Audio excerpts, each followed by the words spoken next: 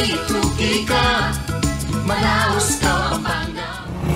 Mga Pando, katayungan, this is Angat, San Fernando. You have join us as we travel the beautiful capital of the province, the center nerve of Central Luzon, San Fernando City. I am Stephanie G. Tison, and let me introduce to you to my team.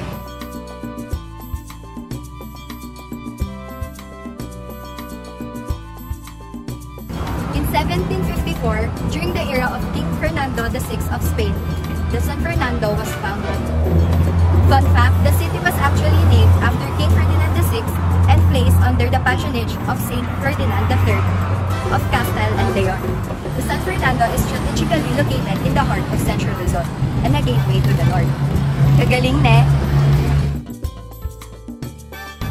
Basta kapampangan, manyaman! Magluto! Gusto yung panganita kabalan? Amazing hands when it comes to cooking.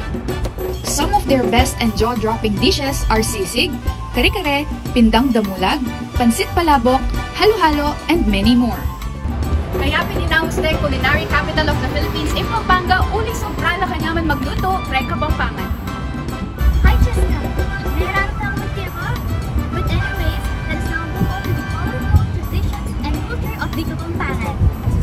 Every year, Kapampangan people visit San Fernando for the Ligligang Parul or Giant Lantern Festival at Pascuhan Village.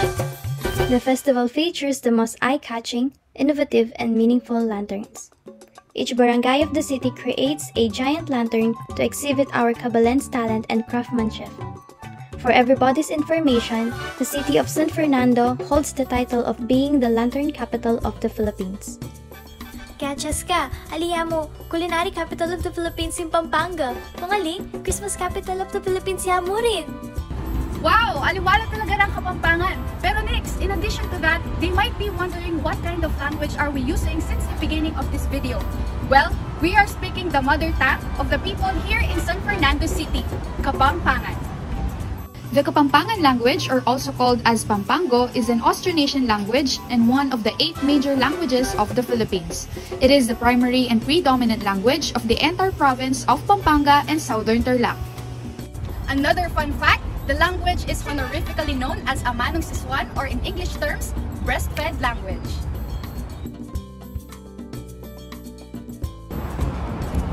Aba, aba, aba. Hanako man din patalwigi ako. Kabalen, we are currently here at the Hero Hall. It also serves as an extension of San Fernando City Hall. It is a place where you can find local as well as national heroes in San Fernando, Pampanga. And to name some of the local heroes here in San Fernando, we have Adriana Sangalang Hilario, the wife of Governor Tiburcio Hilario. Fun fact, Adriana Sangalang Hilario became the first lady of the province. We also have Jose Abad Santos, the younger sibling of Pedro Abad Santos. He became the chief of staff of General Maximo command during the Philippine-American War. A very interesting fact about Jose Abad Santos is that his remains were never found. After the war, several efforts were made but they never found it. Akala mo ba Andrei pa sampot ko? Aliyah, I am currently here at the San Fernando Old Train Station. The San Fernando Station is a railway station of the Philippine National Railways situated here in San Fernando, Pampanga.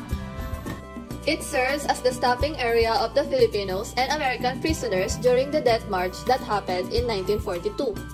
At Kabalen, ini malupit.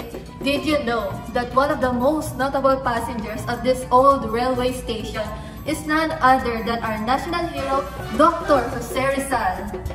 Well guys, it sure was fun exploring and learning new things about the captivating beauty of San Fernando City. Indeed, Steph, from its remarkable history, mouth-watering to see, phenomenal places, unique language, down to the awe-inspiring local heroes, talagang makabilib na rin Kapampangan. Sinabi niyo pa. I second the motion. Kaya naman ka, Balen! Nanano ko pa, pero naking makamulaling santing at kalugod-lugod na syudad ng San Fernando City, Pampanga. Once again, this is Angat San Fernando. Abe-abe tao king pamaduklas kay Santing na ning San Fernando City. Mekeni Malaos Kopo!